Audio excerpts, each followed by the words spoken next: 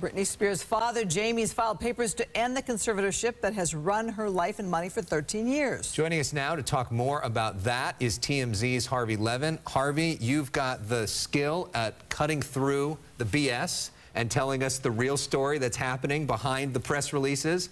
What's really happening here? Well, let me just say first what Jamie is saying, and it is shocking. Jamie is saying, you know, Britney wants to end this conservatorship. The judge allowed Britney to hire her own lawyer, so the judge must feel that Britney is capable of making decisions of that kind of magnitude, so she should be able to handle her business affairs too.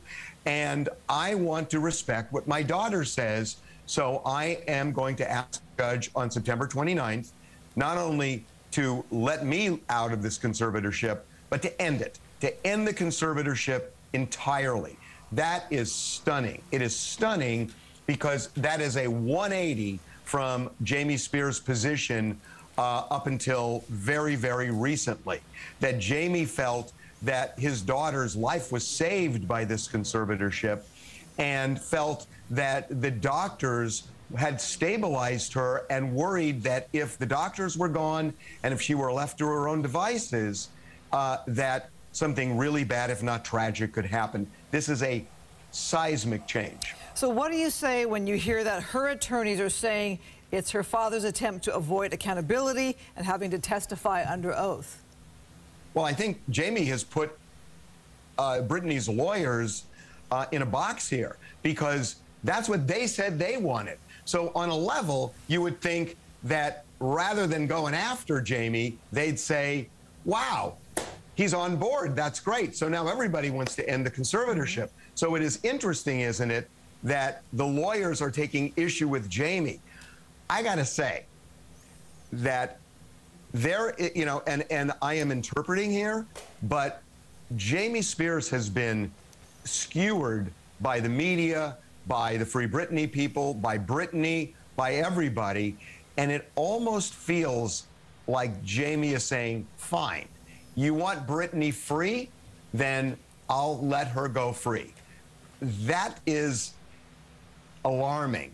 And that it, it almost feels that way because all of the things he said in this document that he filed with the court are very, very different, in fact, opposite from what he had been saying all along.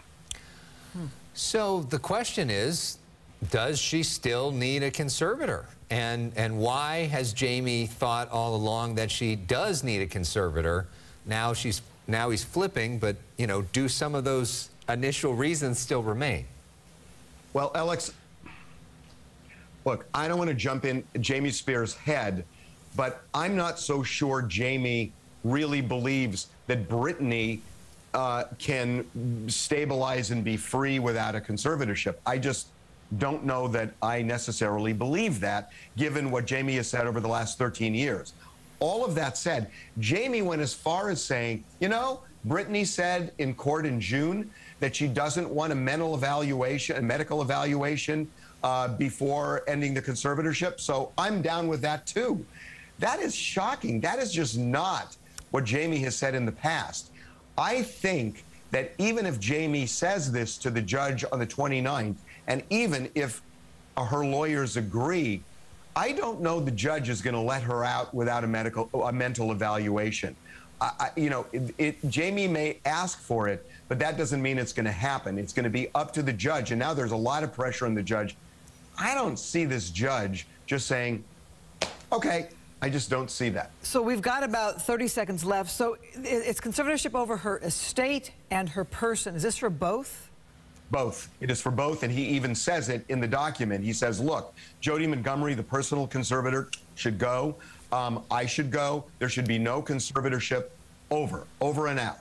That's what he wants. Wow. Well, uh, we shall see uh, what happens next on this one. Uh, very interesting. Uh, we said that you cut through the BS, and you yeah. did once again, Harvey. Wow. Thank Perspective you from you. Much. Incredible. Different than, the, than just uh, reading the headline there. Mm -hmm. Thanks, Harvey.